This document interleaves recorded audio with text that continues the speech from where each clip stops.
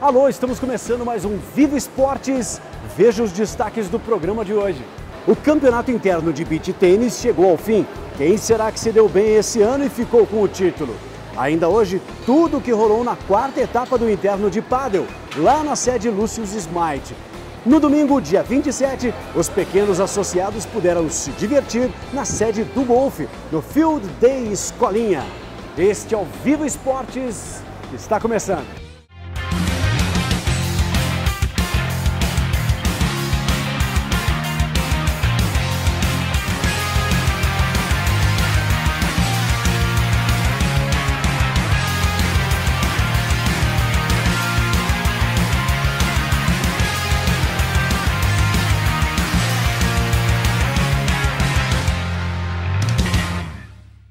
O campeonato de beach tênis desta temporada chegou ao fim.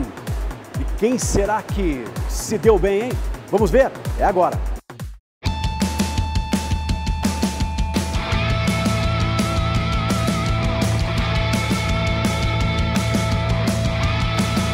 Apesar de Curitiba ser uma cidade em que o sol não é tão presente, e muito menos uma cidade litorânea, o número de pessoas que têm procurado o beach tênis só tem aumentado. E aqui no Clube Curitibano, isso não é diferente.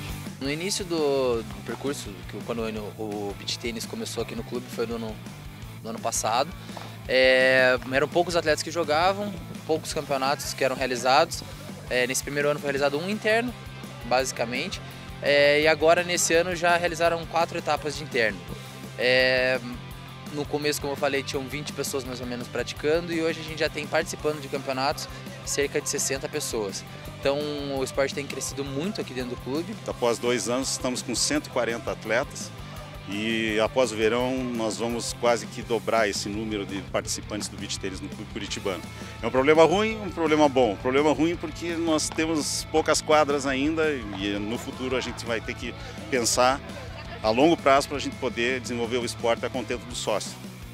E o problema, o problema bom é que o número de atletas é crescente. O crescimento não foi apenas em número de participantes. A evolução técnica também acompanhou esse crescimento. Hoje, as jogadoras número 1 e número 2 do ranking paranaense são associadas do Clube Curitibano. A gente é tricampeãs, estava em busca do Tetra, mas né, a gente ficou em segundo lugar. E isso é, é o legal mesmo de ver como as pessoas estão se dedicando. Se você vai lá no clube, na, tanto na Getúlio quanto aqui na, na, Jacarezinho, quase todo dia tem gente jogando beach tênis, as pessoas estão fazendo aula, estão realmente se dedicando porque é um esporte muito gostoso e o nível da, das participantes está muito bom mesmo. Hoje, com, é, com, com a novidade né, de ter muitas mulheres participando, nós temos a classe C, B e A, como é a federação e a gente consegue, tecnicamente, eu vendo ontem, dá para separar bem o C, o B e o A. Então o nível técnico tá bem, dá, dá para separar bem. Ontem eu achei que é, ficou um B com um C, muitas vezes uma dupla formada, então houve bastante jogo.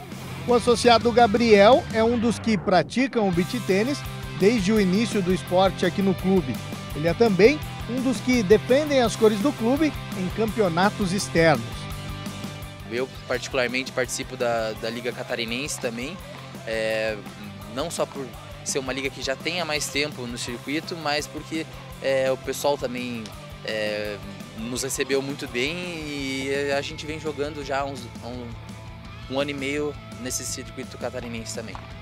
Recentemente houve uma mudança na diretoria do beach tênis e Jorginho, como é conhecido por todos, já tem grandes desafios pela frente nós, ah, com, com, com o pensamento de, de formar um, um, um, circuito metropolitano e litoral aqui nessa faixa do estado, na faixa leste do estado, estamos com os outros clubes como Graciosa Country Club, Santa Mônica Clube de Campo, é, Associação de Caiobá, Guaratuba, nós temos um circuito e vamos desenvolver o esporte em conjunto com a Federação Paranaense de Tênis.